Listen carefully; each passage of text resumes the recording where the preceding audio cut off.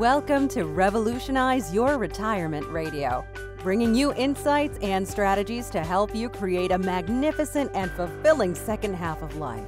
Here's your host, certified professional retirement coach and best selling author, Dr. Dorian Mintzer. I'm Dori Mintzer, president of Revolutionize Retirement and founder of this interview series, Revolutionize Your Retirement, interviews with experts to help you create a fulfilling second half of life. So let me introduce you to Andrea. I've had the pleasure of both meeting and knowing Andrea. She's the past president of the National National Life Planning Network, lives out in California. She's president of Senior Concerns, which is a local nonprofit that serves seniors and their family caregivers. She's also a certified senior advisor, founder of Rethinking Your Future, and creator of this really ingenious deck of cards called The Cards I've Been Dealt. She's an editor and co-author of the book Live Smart After 50, which is the book that the Life Planning Network recently published. She writes a bi-monthly newspaper column for for the Acorn called The Other Side of 50 and is a national speaker on topics related to life planning, positive aging, and boomer transitions. I think we're really in for a treat. Andrea has really become an expert in this area of dealing with seniors and senior concerns and life planning. And I've been able to see the cards and actually have used them and recommend them to people. And it's just fabulous um, assessment tool. Andrea, can you begin maybe by just sharing how did the idea for the cards come about? Just to, to uh, give you a little backstory on me. So I've both been a caregiver and a care receiver in my life. When I was younger, at 11, I actually ended up at Mass General Hospital for over 10 months in the hospital. I grew up in New Hampshire, so my mom had to quit her job and come visit me every day, make sure that I was being cared for properly. And during the summertime, she had to give my sisters up to her sister so that she could continue to come visit me every day. And I knew what it was like to not be ambulatory, to be dependent on other people to, for my care, to basically not have a whole lot of choice in the foods I ate because the menu plan was the menu plan.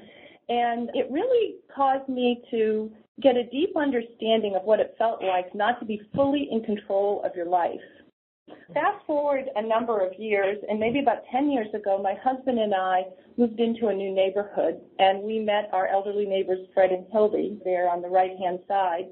And we met them. We had a come meet your neighbors party, and they came. And Fred was full-time caregiver for Hildy. She had she was in a wheelchair. She had crippling arthritis, and she was legally blind with macular degeneration. And what started out as doing small favors for them, one day my husband and I were invited by Hildy to Fred's birthday party. And so I said to my husband, this will be great. We'll get to meet the kids and the grandkids. And so we got to the restaurant and there were Fred and Hildy, one other 80 year old couple, and my husband and I. And we realized as we got to talk to them that evening that they had no kids, no relatives, no one but them. And that started us obviously helping them a little out quite a bit more. And then one day we got a call from Hildy that Fred needed to go in for some day surgery. So we took them both to the hospital. We sat with Hildy in the waiting room, and after a couple hours, the doctor came out and told us that things hadn't gone as well as we had hoped, and Fred's kidneys had shut down, and he was going to be in the hospital for at least two weeks. So we waited until Fred got into his room, wheeled Hildy in there. They had a small conversation, and then Fred called us over. And he asked my husband and I if we would live with Hildy for the next two weeks while he was in the hospital. And I was commuting to Chicago at the time. I ran a market research firm. And uh, so I called my CEO and ended up being able to stay with Fred and Hildy. And my husband and I moved into the guest room. And two days into our visit at 3.30 in the morning, we could hear Hildy coming down the stairs. She had one of those chair lifts.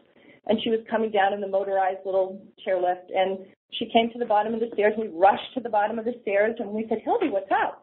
And she said, I want to take you kids out for breakfast. And we said, Hildy, it's 3.30 in the morning.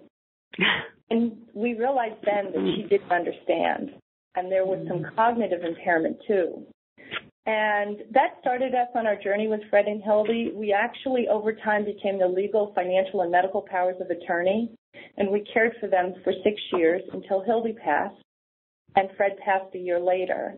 But we went through everything you can imagine from dementia to stroke to in-home care to hospice to nursing homes to skilled nursing facilities. And that whole experience changed my life. And I, after a few years, stopped my corporate career in sales and marketing with companies like Dole and Pepsi and M&M Mars. And I joined the board of Senior Concerns and was on the board for five years and most recently I've been president for the last two years and I deal every day with seniors and their family caregivers. And to me, I always consider this Fred and Hildy's legacy. The work I'm doing is Fred and Hildy's legacy. So that's a little bit of the backstory about how I came to be interested in this area. It, it's so inspiring to it both speaks to caregiving, but just this beautiful community that you helped establish for them. And it's just every time I hear it I get these kind of chills of just thinking about how fortunate they were to have the two of you and really how fortunate for everybody as you say their legacy that that you had this experience with them. It sounds like that's a big part of what got you inspired into kind of life planning but uh, is there other parts that that sort of got you into this field of life planning also yeah, it's interesting because certainly after Fred and Hildy passed, I realized that they'd done, and it's done, I realized they'd done a lot of really good things. So some of the great things they did is that they had their burial plot and their end of life wishes in order, but they hadn't really thought about what if Fred could no longer care for Hildy. They hadn't thought about what if he could no longer be her transportation. They hadn't thought through, they were covered financially, but a lot of the other decisions in terms of life transitions that inevitably were going to happen, they hadn't thought about. And I realized in my corporate America job, the last job that I had, I was actually, excuse me, chief transformation officer for a uh, billion dollar company. And I realized how difficult it is to change and how transition can be really challenging for a lot of folks, whether in the workforce or in life. But I also recognized as part of my work that planning was a critical component to success in dealing with life transitions. And so that got me connected with the Life Planning Network and the work that they do because it just so fed into one of the my what would I call it, but the pillar of what I believe, which is that while we all can't anticipate everything that's going to happen in our lives, planning sets us up for a whole lot of positives. Mm-hmm. That's so true. Otherwise, you get there by default, and if you don't have somebody like you, as you were helping uh, Hildy, people often fall through the cracks, which is terrible actually, the reason that I've chosen to focus on seniors and why I think as I work with them every day, so we have an adult day program here at Senior Concerns. We have about 50 folks that come every day, and they are generally folks that could not be at home alone during the day. So they might have some physical frailty, cognitive impairment, stroke, Parkinson's. And often I've found as we deal with both the families and then also with service providers in the community. So we're connecting folks up with in-home care agencies and assisted living or boarding cares, hospice organizations, geriatric care managers. I often found that the conversations that are had with the seniors are really pretty horrible in terms of how they feel at the end of that conversation. And what I mean by that is often the kind of questions that are asked and things that are discussed cause a senior to feel embarrassed or misunderstood or defensive or clearly not in control of their own lives or their own care. And so part of my goal was to be able to develop a tool that could help with that conversation. So take Amelia here, for instance, who is 80 years old. She lives in an assisted living facility in the community. She's cognitively okay, but she has a number of challenges. She's a fall risk. She generally is in the wheelchair at the facility most of the time, even though she has the ability to be able to walk with a walker. But because she's such a fall risk, The folks in the center keep her in the wheelchair most of the time, which of course is not good for her. She'd like to be as ambulatory as possible. She has some mild incontinence, so she wears Depends. She really has a tremendous interest in seeing her family more.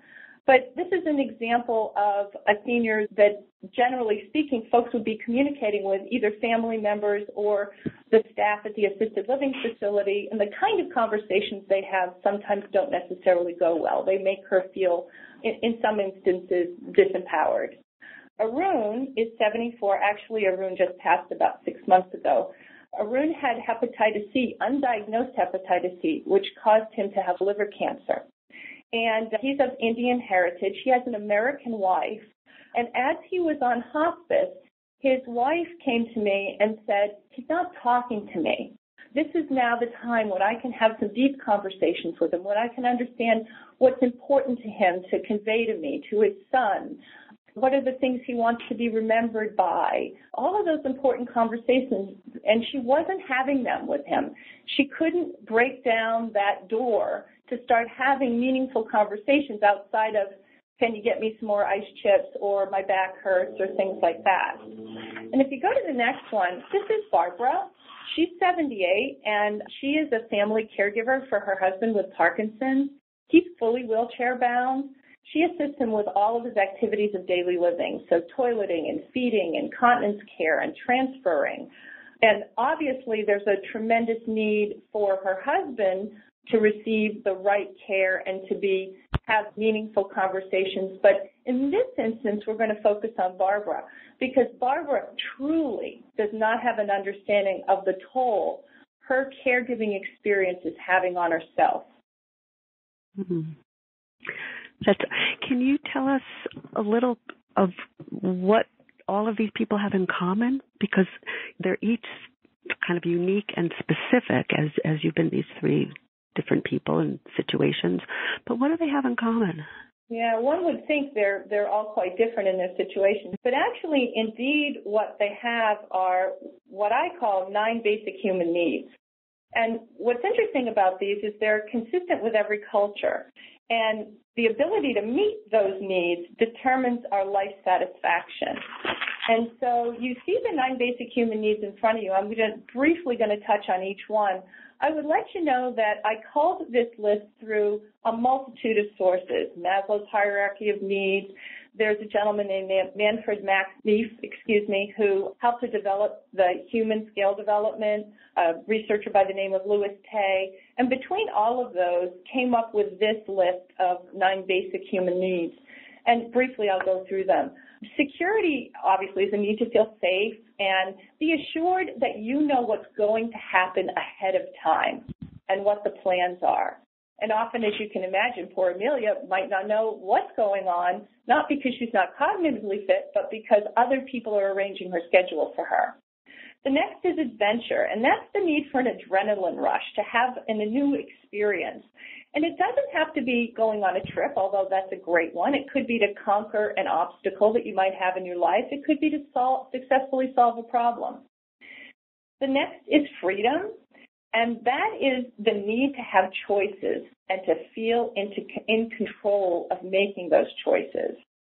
The feeling free to move around without restriction, choosing where to live, refusing to obey rules that were created by somebody else. So that's a sense of freedom. The fourth is exchange, and that's the need to deliver and receive something of value. So think of information or conversation or friendship, money, gifts, love, shared experiences. That's the uh, human need for exchange. The next is power, and that's being in a position of authority or responsibility. And as you can imagine, in as you get older, one of the losses you deal with often is the feeling of power in your life. And that could be something as simple as taking charge of anything or organizing something, being in control. The next is expansion, and that's the need to build or add on to or create something. So it could be expanding a collection that you may have or discovering a new way to do something. The seventh is acceptance, and that's the need to accept yourself, but also as important to be accepted by others.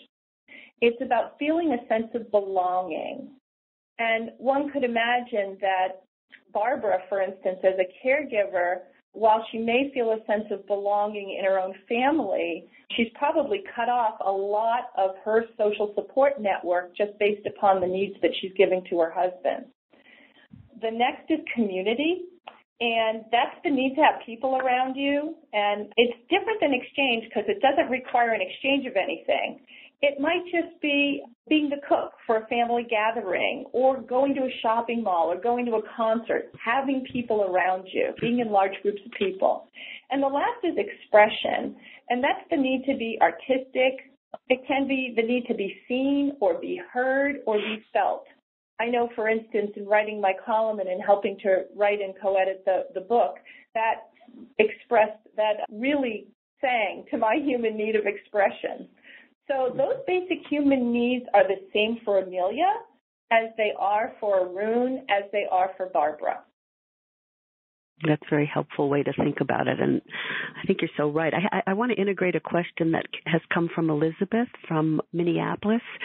She has commented that, Andrea, you've already had such an incredibly compelling message that you've been giving already that when you talk about planning is just creates a whole lot of positives for people. But she leading up to her question, she said that so many of the seniors that she knows don't believe this and don't want to engage in planning. And so her question is, what are ways we can help seniors know that planning is a great idea?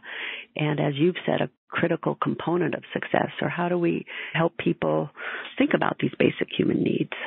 Mm-hmm and actually the cards actually do help to do that so that's a wonderful right. segment but more importantly there's a gentleman named david Solie he wrote a wonderful book called How to Say It to Seniors. And he talks about the two developmental stages that are going on with seniors in the latter stages of their lives and how they are, they influence everything that a senior thinks and does and the way they solve problems, the way they address things. And the first one is dealing with loss. And often what happens when a senior deals with loss is the only thing they have is the ability to say no. Mm. And finding a way to provide choices and a path for a senior is critically important because otherwise the their only recourse if they're being forced to do something they don't want to do is to say no. The second competing developmental task that he talks about is determining your legacy. What am I what was I put on this earth to do? What am I leaving behind? What did my life make a difference? And if it did, how did it make a difference? I would tell Elizabeth that two of the things to think about when you're dealing with seniors is if you can consider those two competing developmental tasks that are going on and find a way to meet that senior at a place that is comfortable for them, they will be more open to the concept of planning.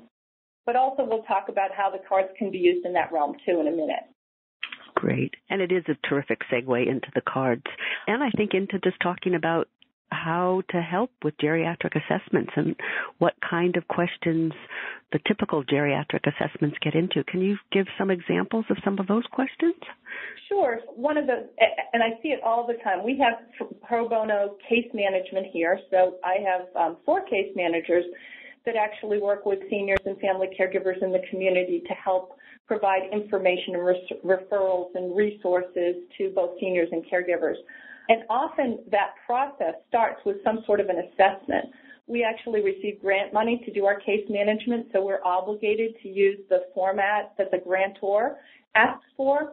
Often geriatric assessments are really intended to do a couple of things. Under, under identify diagnoses and find a way to manage medication, look for depression, have less visits to the emergency room and less hospitalization. And when you get to the bottom of that yellow section, finally you get to the point of improving quality of life or increasing longevity.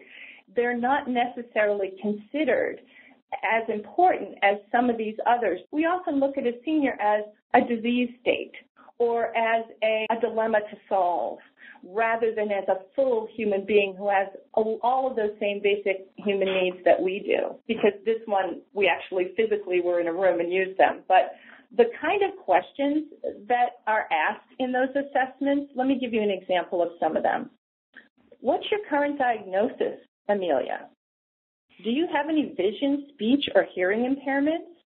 Do you have any history of substance abuse? Can you shop or cook for yourself? Do you need help toileting or transferring? Do you wear Depends? Are you anxious, sad? Have you lost interest in life? These are all part of geriatric assessments that go on in our community every day. And often it's with both the family caregiver, the senior, and the professional. And whether it's a in-home care agency, a geriatric care manager, a case manager, a person who's doing intake for an individual that's going to move into assisted living, they are all ways in which we're communicating with seniors in a way that sort of objectifies them and doesn't allow them the full breadth of being human. What we found is when we went through the process with a family caregiver, a senior, and a professional and went through one of the geriatric case management forms and questionnaires, what we found is that the person that was conducting the assessment, the professional, was embarrassed for the individual. They were in that initial intake providing very personal pieces of information about themselves. And they said, I feel a little bit uncomfortable. If you're going to ask me truly, I do this every day, but yeah, I feel uncomfortable when people have to tell me that they're incontinent or they're depressed or yes, I drink to excess in the evening or whatever the case may be. The person receiving the assessment, the senior, is often feeling tremendously con uh, self-conscious and feeling like that their humanness has gone away and they're being devalued and often ashamed and humiliated because just imagine if our physical or cognitive challenges were being addressed with a family member and a stranger. What we found with a family caregiver is either they were sitting there quiet listening to the process or they became the tattletale. In other words, if mom said, Amelia said, no, I have no substance abuse problems, and on the side, you've got to say to the geriatric care manager, indeed, mom's had a problem with alcohol for the last 50 years, saying, or mom says she's continent and daughter has to say, no, that's really not true. Here's the fact. Or have you fallen recently? Mom says no, and daughter says, indeed, she fell last week and ended up in the hospital. There's an example of the types of ways that process can go awry. And it really, as you describe it, and what becomes so clear is how it really infantilizes people too. It, it really does diminish them and make them either embarrassed or invisible if people end up then talking about them with them there and it's not a relationship building it's not a trust building kind of thing to have those kind of assessments and I remember that at 11 years old. Our Mass General was a mm. teaching hospital, so I can remember the doctors coming around, all standing around me and talking about me in front of me. And that same feeling, I I put on the yeah. senior because I know what that feels like. It's horrible. Yeah. The things that we don't learn in those conversations, what activities can the person do or not do? We may know that they can transfer from the bed, but can they paint? Can they sing? Can they, what concerns do they have? What's important to them? Who are the most important people in their lives? We talked about the human need to be surrounded by people. What makes them happy? And what do they know about themselves? For instance, what is a good day for that person? Or what are they good at? Or the way they overcome setbacks is what? all those things that really make the person tick and make them human and the kind of things we would be as a younger individual, even in our middle age, we'd be having dialogue with people that would feed our human needs. And that's not necessarily the case as we move forward with seniors. Mm-hmm. Oh, I can it just re- really resonates. And so now we can maybe move into how, both from your own experience as well as your experience with seniors, how these cards came about. But it also hits me as you're talking that they're wonderful cards for seniors, but they're probably great cards for people with all kinds of illnesses at different ages, not just seniors. Um, people going although, through life transition in general. Exactly. Like, because you'll see in a minute. So if we want to move to the next one, I'll yep. For a minute about the three sets of cards. The original set of cards that I created are daily activities cards, and this is a unique and easy way to think and talk about physical and cognitive changes that may have occurred. For instance, I, and you can sort them based upon the things you can do and can't do. I can take a shower or bath myself, or cognitively, I know how to use good judgment, or I can prepare meals, or I can use the telephone. What's interesting about the cards, though, is they don't stop there. As you'll see from this example here, they have a broader description or a more detailed description below it. Take a bath or shower on my own.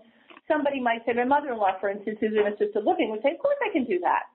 But then if you go to, okay, can you safely exit your and enter your bath or shower? And indeed, part of the reason she moved to assisted living is because all she had was a bathtub in her house, and it became much more difficult for her to step over that threshold of the tub. And now she's got a wheel-in shower. And can she properly wash her body and her hair? Well, she had broken her wrist. Very difficult for her to wash her hair. What's nice is as you start to have the dialogue with someone, you can get to the specifics enough to say, gee, mom, does your wrist hurt anymore as a result of when you've broken? Is it hard for you to wash your hair?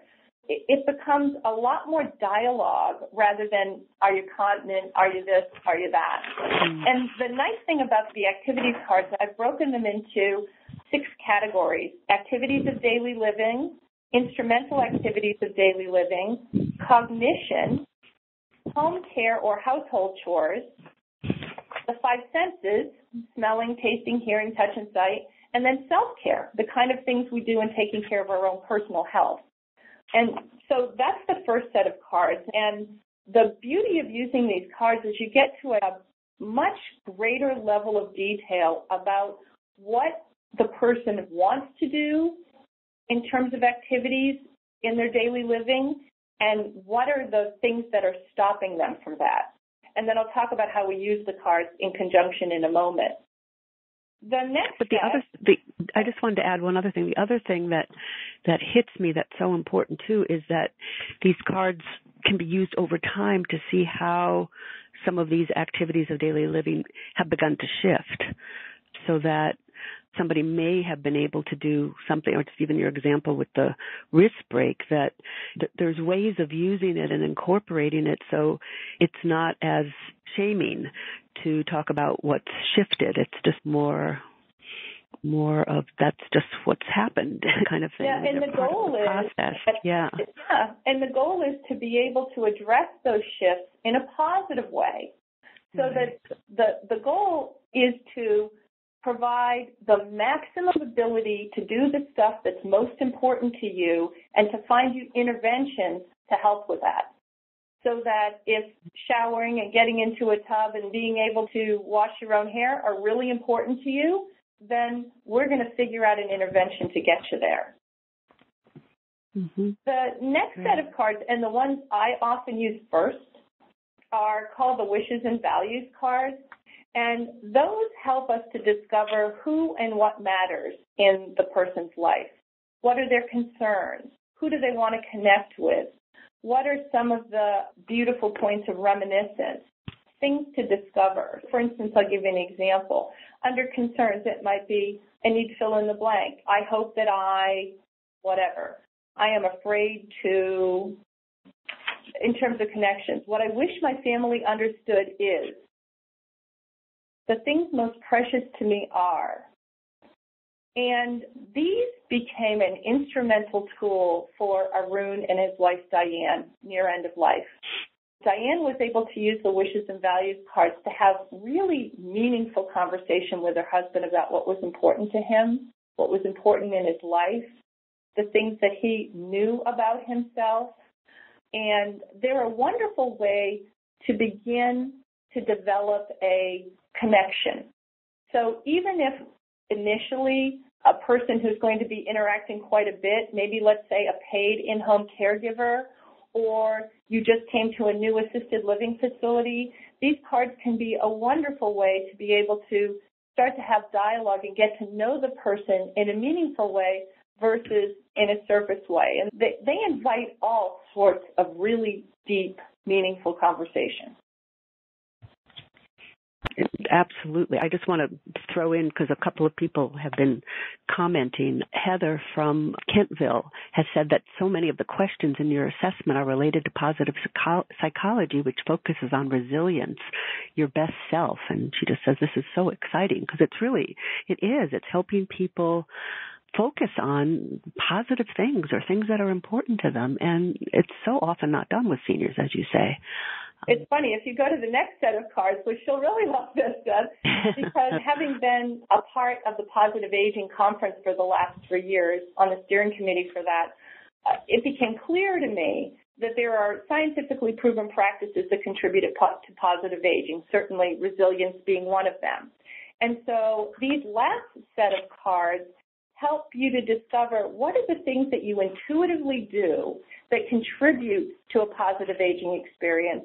And for instance, in the set that you're not currently doing, maybe are there one or two things there that you could begin to do? And I've bucketed those into five different areas. Cognitive health, the kind of things you can do to that are scientifically proven to support yourself cognitively. Life satisfaction, how you approach the world and deal with life events your physical health, religion and spirituality, and then social connectedness.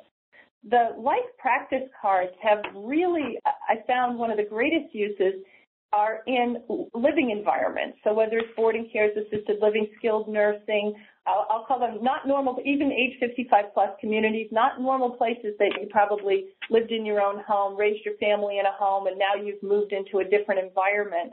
This can really help to bolster the type of environment and living experience you have as you move into a new place of residence. I have some other comments and questions from people, but I'll let me have you tell everybody all all about these cards now. oh, okay. So we did the same exact example. So we had folks, as I mentioned, a series of folks that were the family caregiver, the senior, and the service provider have dialogue with that geriatric care management assessment, and now we had them use the cards. And here's what we heard, particularly from the person who was conducting the assessment. They heard context, and they contributed and were part of rich dialogue about what was concerning to the person, what made them happy, what gave them joy, who was it important that they surround themselves with, and what they understood about themselves the person, the senior who was receiving the assessment felt listened to. Most importantly, they had agency. They felt that they were in control and they were engaged and willing to have dialogue.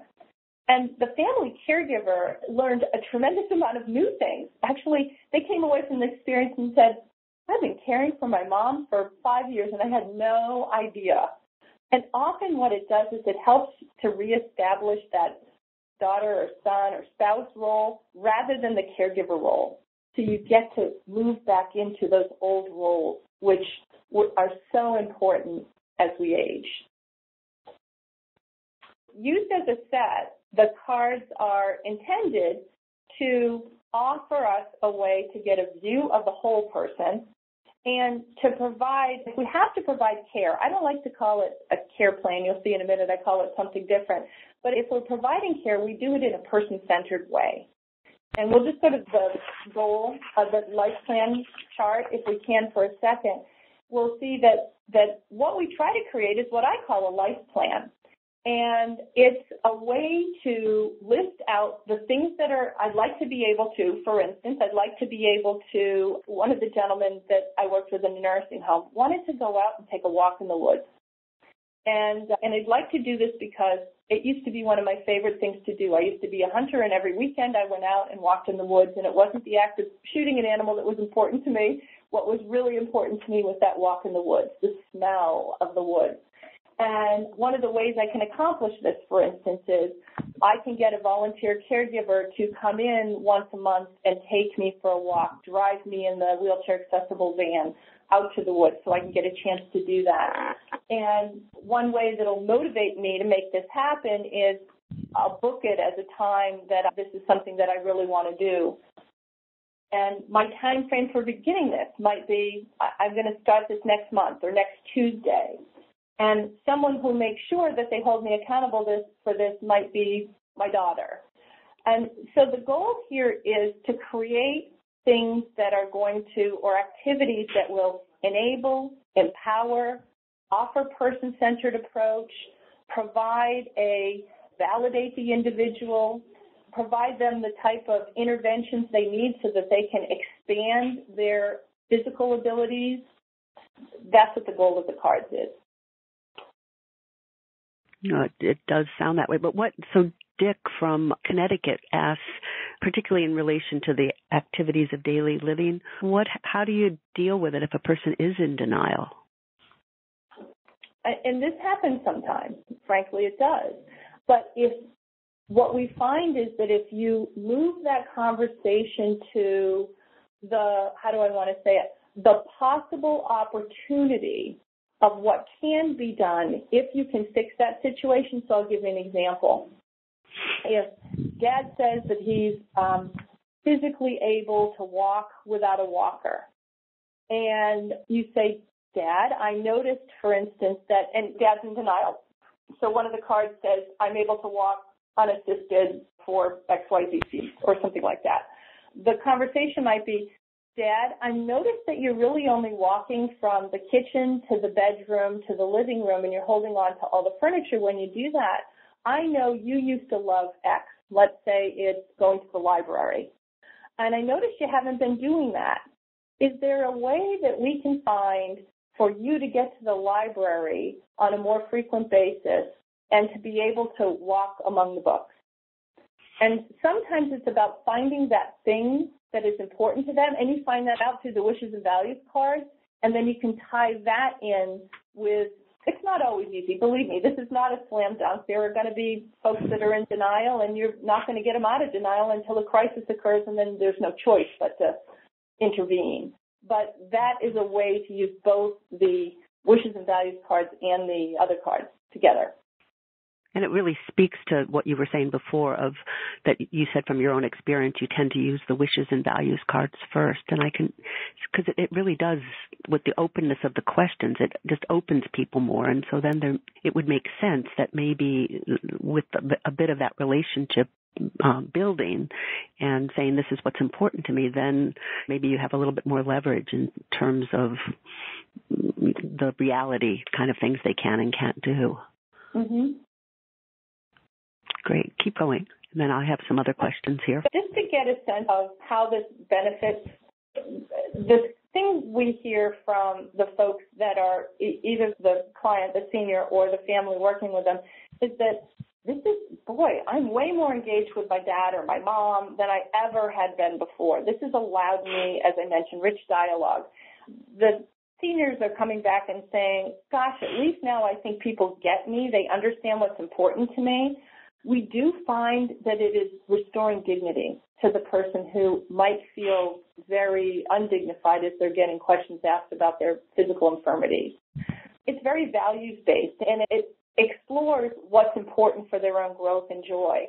And what's lovely about the cards is they it really emphasizes personal development in any age. I've used the wishes and values cards and the life practice cards on 85 year olds. And so it's, it means everybody is still growing. If you're on this earth and you're alive, you're still growing. The benefits for the family caregiver, I think I have that one next, or actually to the service provider.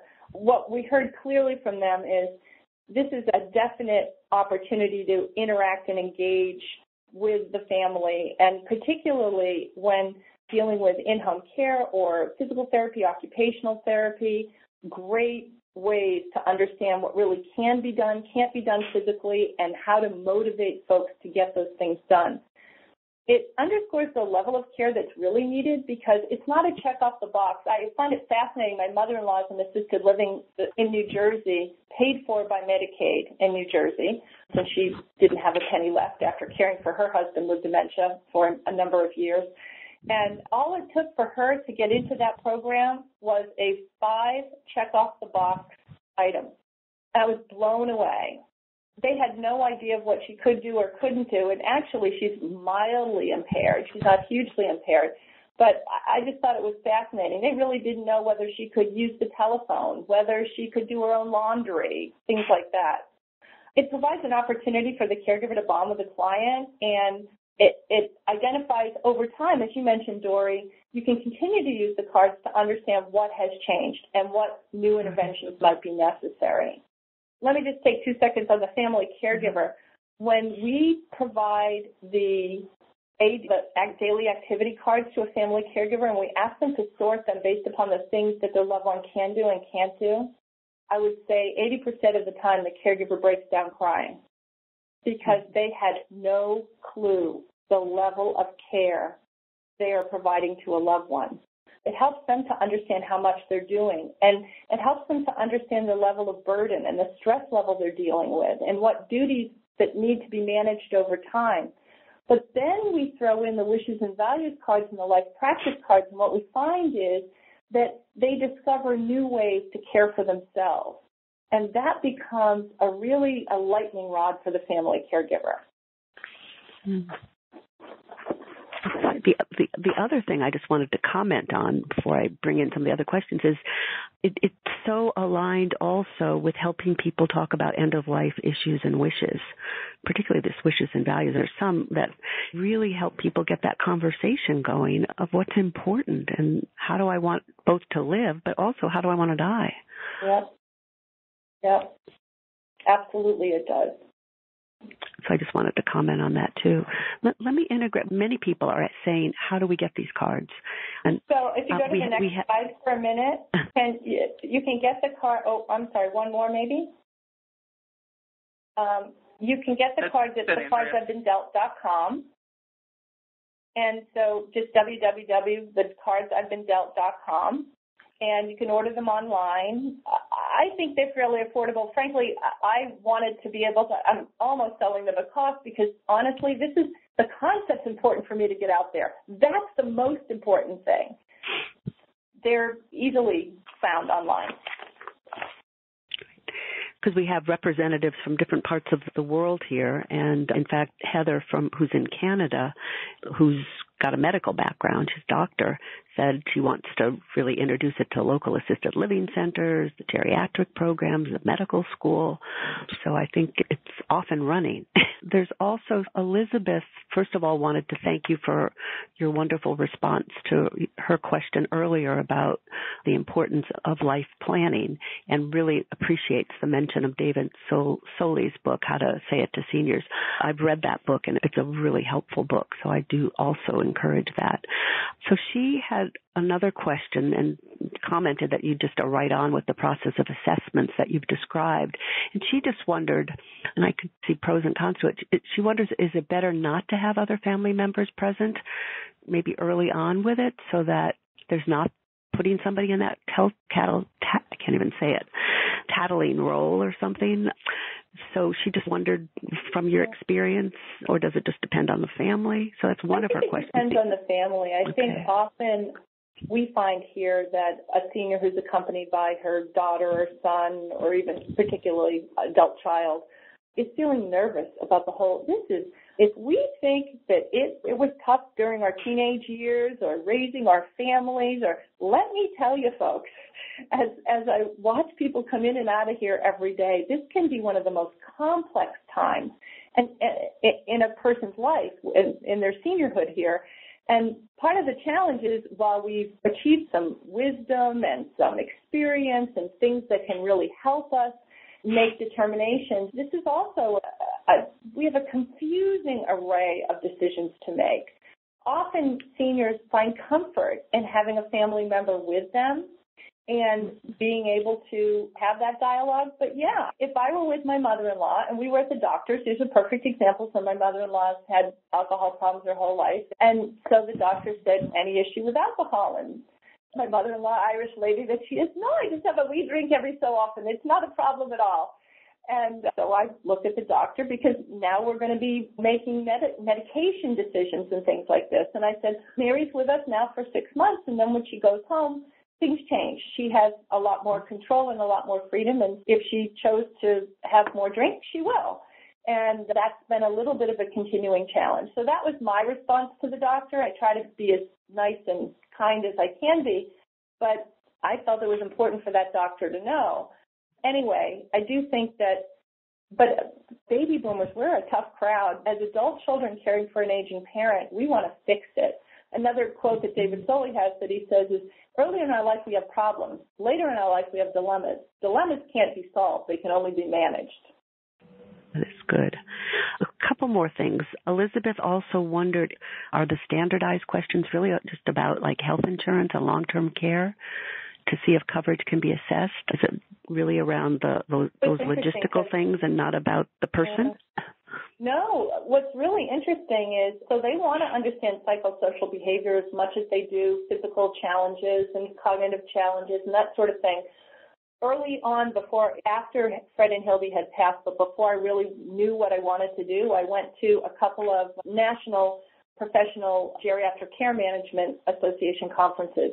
And one of the things I bought at that conference was a set of all the geriatric care management assessment forms. And I would tell you, and I've got them from assisted living facilities. I got them from in-home care agencies. And of course, they have an agenda, right? Their agenda is, I got to make sure that all your needs are being covered in whatever my service is that I'm offering. But often they're asking questions, what do you like to do, Mrs. Jones? I, I just toured a new facility the other day, and of course, it's a memory care unit, and they have the memory boxes that are out in front of everybody's room, so you can see Edith when she was a young woman and pictures of her three kids as children and her picture of her dog and that sort of thing. All great. But if, and it can start some basic conversations. Oh, Edith, you had a dog when you were younger or, but never gets to the level of the person. Oh, I think that, and that's what so beautifully your cards get to. But how else can the positive aging community use cards like this? Andrea, you might have some other thoughts too, and I would invite people to send me some, just if you're online, mm-hmm. send me some thoughts that I can share because it would be nice to hear other people's thoughts on how it could be used. I think Heather has mentioned she really wants to bring these cards to local assisted living centers, medical schools, local geriatric programs. I know when in the geriatric course that I teach, I've introduced the uh, nurses that are in the course and the other um, professionals that are in the course to the cards, and I've I've used them with clients. They're also great with teenagers, I must say. The the what the daily activity things. I actually pulled out a few of the cards in relation to my son. as well as the wishes and values. But what about in the positive aging community? Do people have ideas and how else have you been seeing them used, Andrea? Because I think you've been presenting and getting it out there. What kind of feedback have you been getting? I've been getting feedback from counselors that they're mm-hmm. using them in their one-on-one conversations with older adults. I've had folks tell me that they're using them in age 55 plus communities to build a bond between individuals and also the concierge at the age 55 plus community is using it to help to understand what services some of the folks in the community might need. So those are two ways in addition to. Mm-hmm. Great. Others, I would invite people, if you have some ideas as you've been hearing this, to either send them in now so that we can talk about them together and or let me know, let Andrea know, so that there can be more dialogue about how it can be used. The one thing I'd say too is that we've created a course here at Senior Concerns, a professional series course called From Argument to Agreement. And the subtitle is Building Positive Outcomes for Seniors and Their Families. And we've done that in conjunction with Viki Kind, who I know you know, Dory. And Viki's a bioethicist, an amazing woman. And we're also utilizing the cards in that course and their CEU's offered mm. for nurses. We're excited about seeing how that comes up in October, excited to see how that goes. Is that an online course or an in person course? No, it's an in person course. But yeah. who knows? The yeah. sky's the limit, right? That, absolutely. With technology, it sounds having an online kind of course like that of really help, having people just focus in on the cards. I would imagine even a lot of people on this call might love the opportunity to really work with you or other people that are using them on on on ways to to really use the cards and expand on them. So I would recommend that you think about doing that. Yeah. Other I haven't gotten any other questions from people. I wonder maybe you could share a little bit more of just a few examples of the cards. Are there others? Sure. Are there some that, uh, and then we can go ahead. Yep. Sure. Again, here's a, and these were as I was creating these. My mother-in-law was living with me, and proud Irish woman that she is, who said, "Ah, what's wrong with you? There's nothing wrong with me, Andrea." But she daily activities cards. Can I use the restroom on my own? And of course, my mother-in-law would say yes. And then I said, so let's talk about that, Mary. For instance, it would mean removing her clothing because she, during one time, broken both her wrist and her shoulder. It's really hard for her to get her shirt off. Not that you need that for restroom, but being able to clean herself. Her again, the arm that she used to wipe herself, not to get graphic, but just to give you a sense, was the same one that had been broken. It had become harder and harder for her over time to be able to clean herself as a part of that process.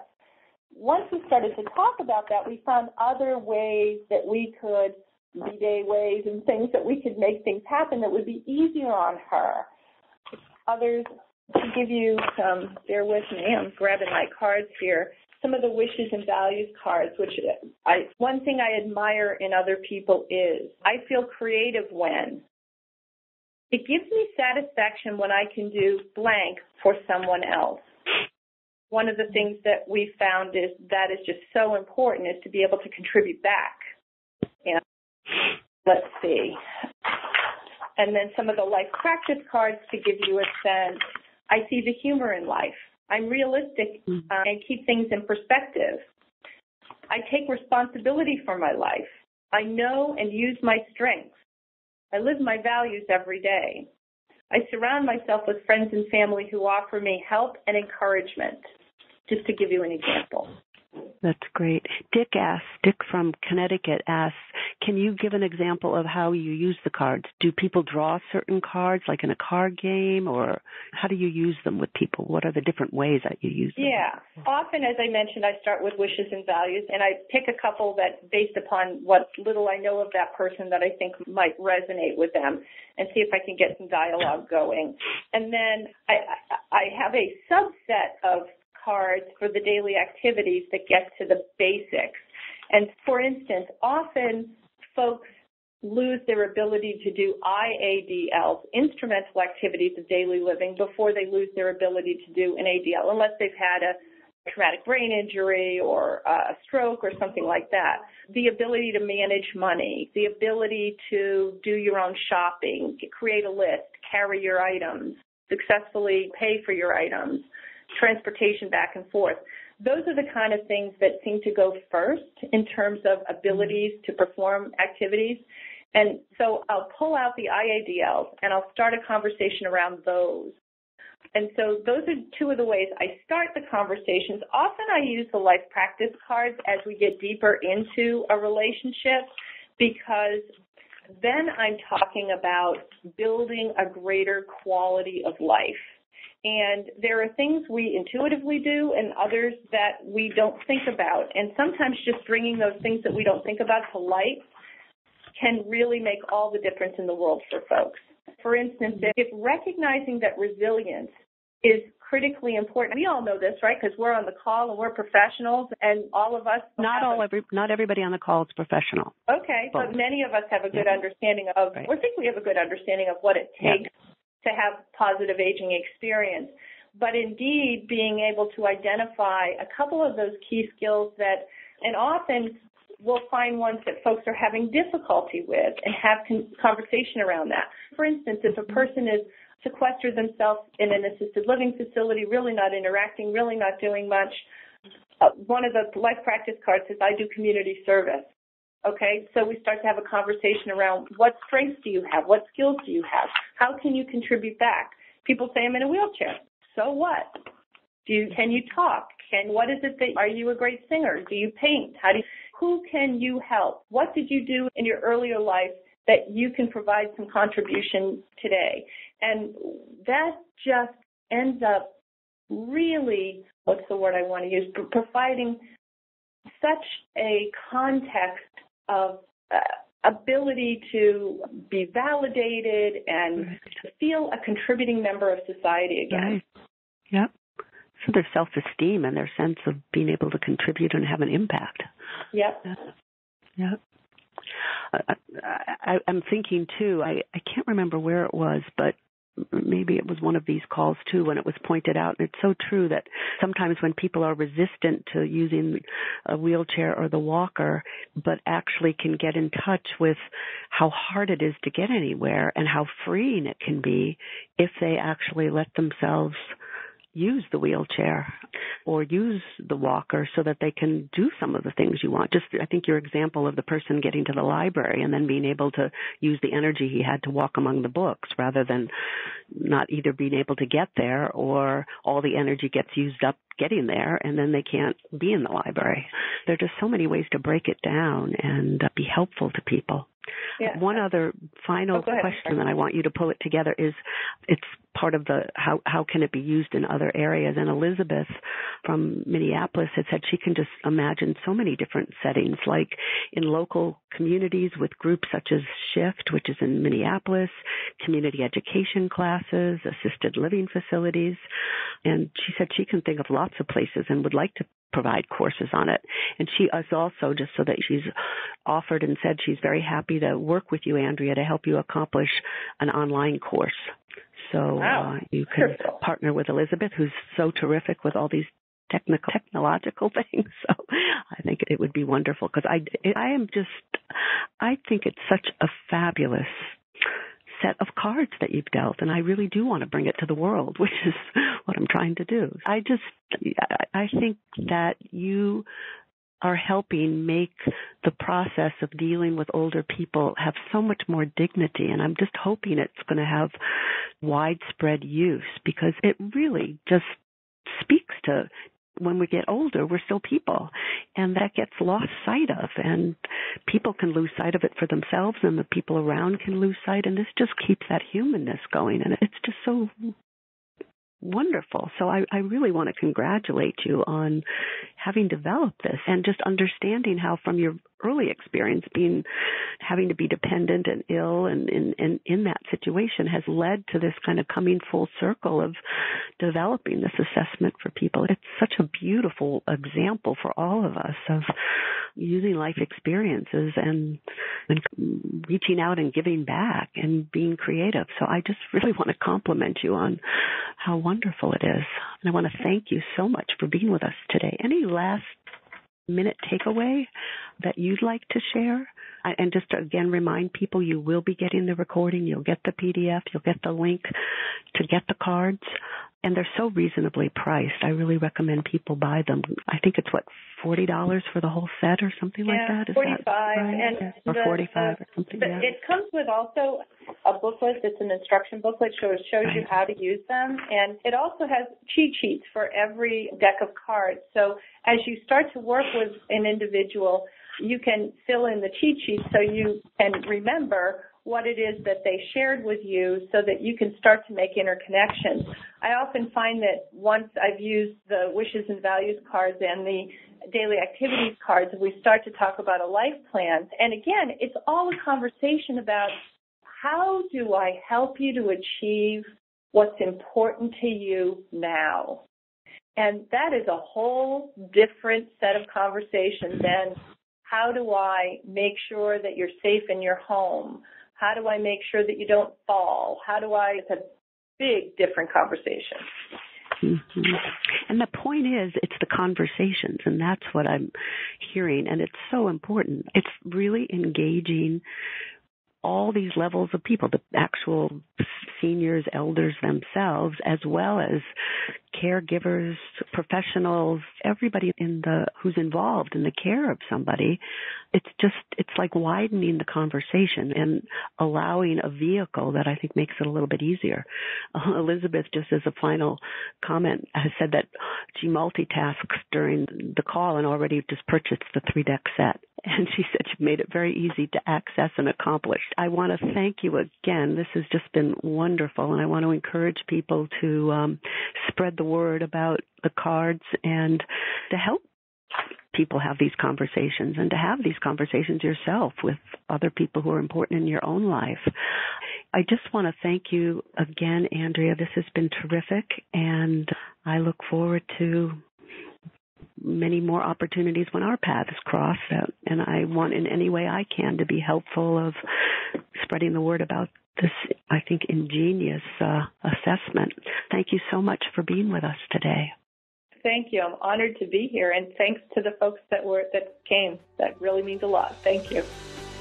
You've been listening to Revolutionize Your Retirement Radio with Dr. Dorian Mintzer. To learn more about the resources mentioned on today's show, listen to past episodes, or download our free retirement transition guide, visit revolutionizeyourretirementradio.com.